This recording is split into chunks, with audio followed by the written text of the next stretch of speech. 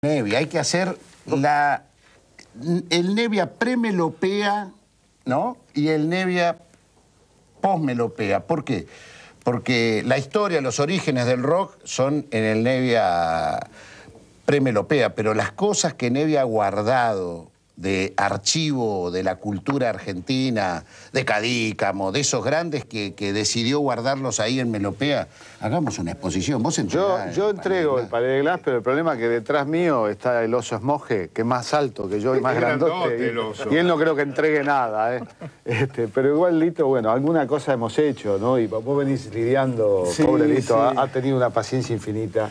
No, bueno. La obra, la persistencia es, importante en el arte también, ¿no? Sí, pero la persistencia tiene que ver también con que cuando haces algo con mucha eh, pasión y gran poder de vocación, este, todo lo que pase, que son eh, muchas veces así tropiezos, eh, están más o menos incluidos en el ánimo de voluntad. Si uno no tiene paciencia o no tiene fuerza para seguir, es como que a alguien se le ocurrió que, que no hagas algo en la vida y no lo haces. No, tenés que seguir adelante. Así que bueno, a veces hay cosas que tardan más tiempo que el que uno tiene ganas de hacerlas. Este, pero finalmente las cosas se van ordenando y, salen, si es, que, si es que realmente las hiciste con, con así, con, con mucho cariño. Yo, por ejemplo, esto que ahora hemos podido publicar, ¿no es cierto? Gracias al aporte de ustedes, de la Secretaría de Cultura, es una cosa que comencé en el año 2000 y apareció en el año 2010. Bueno, 20 años no es nada, 10 años no es nada tampoco. Es decir, lo que hice es lo siguiente.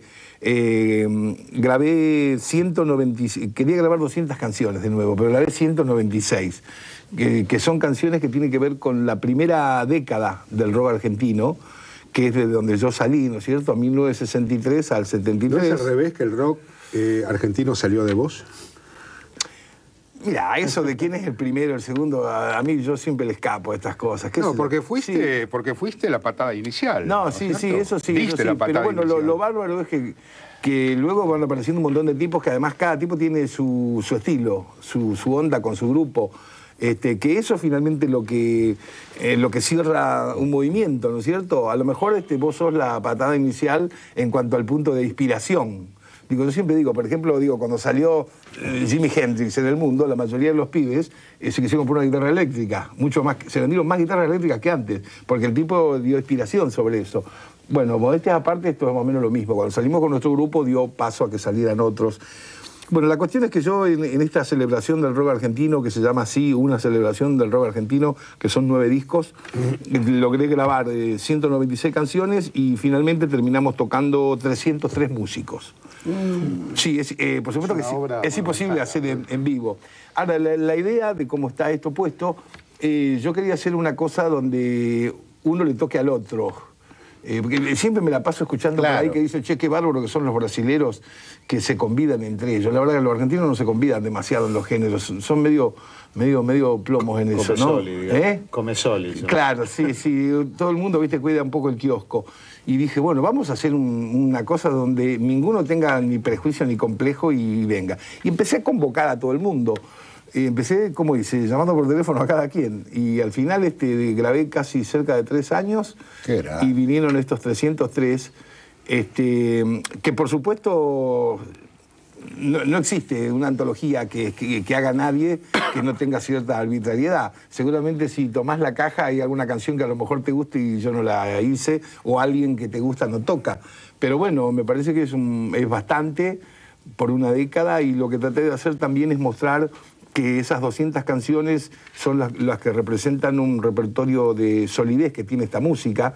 Esta música que en los últimos cuarenta y pico de años es el único género, más allá de los estilos de cada compositor o de cada banda, el único género que ahora se lo puede empezar a mencionar junto con los dos géneros que tenemos de idiosincrasia, eh, que son el folclore y el tango, como sabemos. E, e, este concepto de los diez primeros años de rock, eh, tengo entendido que va a inaugurar eh, los actos de, musicales del Bicentenario el la 9 de julio. El 21 de mayo vamos a estar ahí tocando. Yo voy a tocar como base con la banda mía que tengo, que es un cuarteto que se llama La Luz, donde toca Gonzalo Aloras la guitarra, Daniel Colombres la batería, Federico Boaglio el bajo, yo el piano y la guitarra alternativamente. Y vamos a tener unos 10 invitados. Es imposible invitar a todos. 303 tipos, es una locura. Pero este, tenemos invitados que van a hacer un par de canciones que es como un guiño de muestra de lo que ha sido esta celebración del rock, donde va a estar León Gieco, va a estar Fito Páez, va a estar Silvina Garré, va a estar Ricardo Zulé, va a estar Miguel Cantilo, Antonio Virabén, Emilio Huercio, eh, Rodolfo García. Y bueno, vamos a tocar dos horas. Bueno, Lito, yo te quiero agradecer. sé que antes nos vas a arreglar un, un temita que has... Espera, espera. Acá hay un tipo que cuando vos estabas en la Perla del Once, él estaba en el Ditela. ¿Cómo era la relación ahí? ¿Los miraban de reojo? Porque Yo en la Perla del Once iba 10 años antes con mis noviecitas, hablo del año 55, y no íbamos al baño, lamentablemente nos quedamos en el salón, ¿no? No, pero no, no, digamos... No, ¿Qué decir lo lamentablemente. Lamentablemente, lo puedo decir ahora, lamentablemente.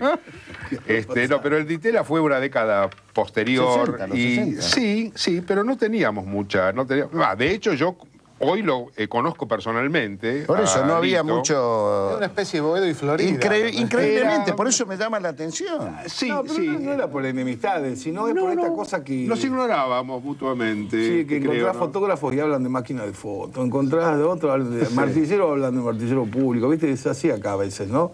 Son eh, tribus. Pero, sí, claro, claro, entonces no había, pero no era porque hubiera un enfrentamiento. Pero eh, muy eh, impresionado por lo que contó Lito, yo quiero decirle antes de, que toque, que me hizo recordar a dos de los pensamientos emblemáticos de dos grandes personajes a quienes admiro. Uno es el de Leonardo da Vinci, que era el ostinato rigore, y el otro del gran Mies van der Rohe, de la, de la Bauhaus, y un gran humanista que decía Empezar sin necesidad de esperanzas, proseguir sin necesidad de éxito. Y esto es lo que me hace ver él y su conducta con el rigor y con este camino, con esta continuidad que yo, un discontinuo, admiro y este, reverencio tanto. Bueno, gracias. Listo, ¿qué nos vas a...? sé que vas a estrenar, vas a estrenar Esta es una canción que la estoy preparando, no la sé ni, ni de memoria.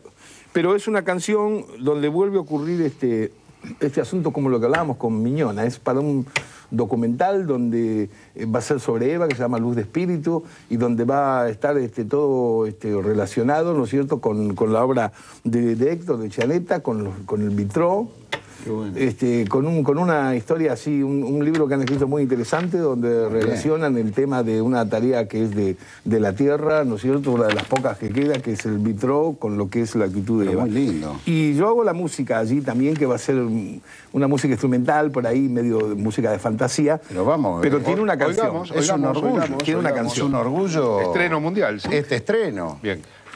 Les canto un, un abrazo grande a Héctor Chaneta por habernos prestado hoy la obra. Luz de espíritu.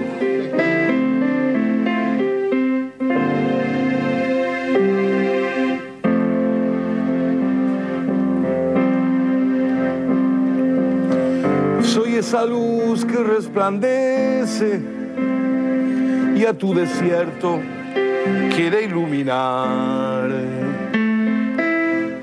Soy una novia perdida, soy la esperanza cautiva de amor. La Argentina de tu asombro, un pibe caído en un barrio marginal. Soy esa madre que llora y que lucha con un juro de hambre y dolor. Descúbrame tan cual soy, desnuda de joyas y soles, vestidos y vientos, desnuda de odio, desnuda de amor. Descúbrame cual soy del desprecio, mis ojos abiertos, desnuda de amor.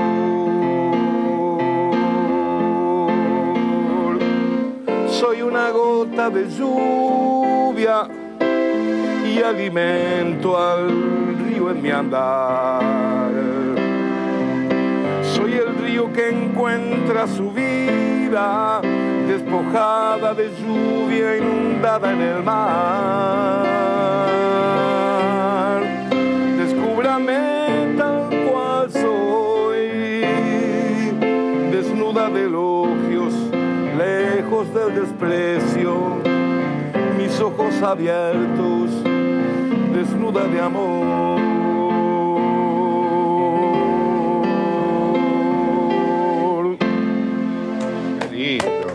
Lindo. Muy bueno, muy bueno. Muchas gracias, Lito, ¿eh? Mejor homenaje de este 7 de mayo, ¿eh? Qué linda canción. de esquina. Pasa el verdugo con su picana y al tiempo que pasa me mira con ganas. Pasan dos tuercas corriendo picadas, se cruzan.